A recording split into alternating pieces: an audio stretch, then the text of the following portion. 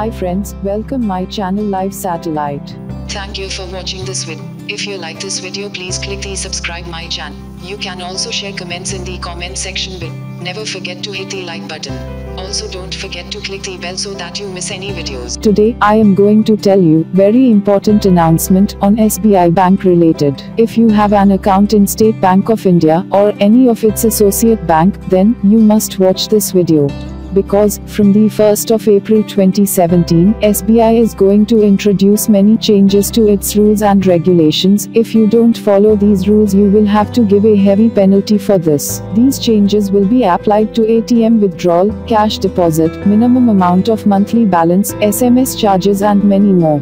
In this video we will go through all these changes one by one. First we will discuss about cash deposit the new rule which is going to be applied from the 1st of April 2017 says that if you are going for cash deposit more than 3 times in a month then you will have to pay 50 rupees extra each time from the fourth time onwards for each cash deposit in that month.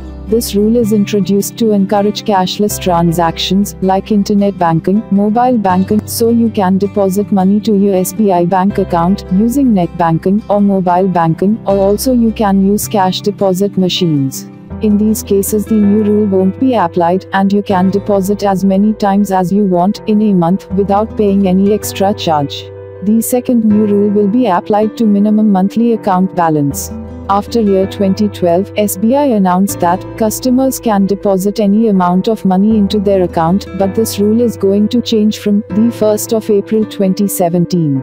The new rule says that if you have your bank account in metro cities like Delhi, Mumbai, or Kolkata, then you have to keep minimum 5000 rupees in your account monthly, and if you fail to do so, then you have to give a heavy penalty.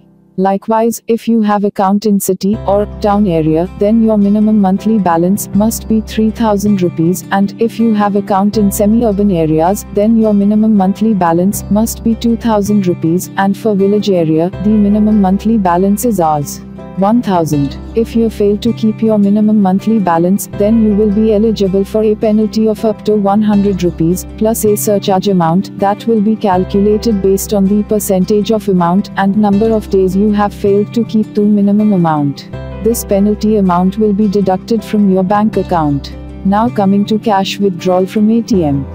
The new rule says that if you withdraw cash from SBI ATM more than 5 times in a month then extra 10 rupees will be charged for each transaction.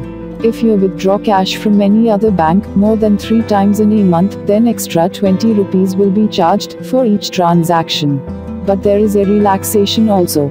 If you keep a minimum balance of 25,000 rupees in your account, then you can withdraw cash from SBI ATM as many times as you want in a month without paying any extra charge. If you keep a minimum balance of 1 lakh rupees in your account, then you can withdraw cash from any ATM as many times as you want in a month without paying any extra charge. Lastly, we will discuss about SMS charges.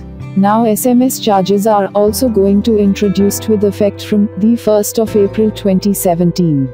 An amount of 15 rupees will be deducted every 3 months as part of SMS charges.